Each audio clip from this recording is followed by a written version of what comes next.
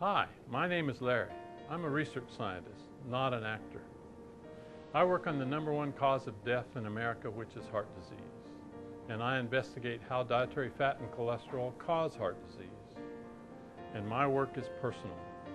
When I was 25, my father died of a heart attack, and then just last year, I had triple coronary bypass surgery.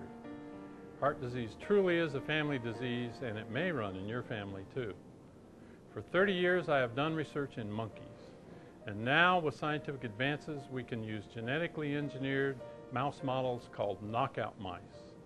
You see, animal research has allowed us to develop heart transplants, coronary bypass surgery, cholesterol lowering medicines, and I believe prevention is next. Who am I? I am fighting for your health, and I'll continue to fight until we knock heart disease out of the family. Learn more at researchsaves.org.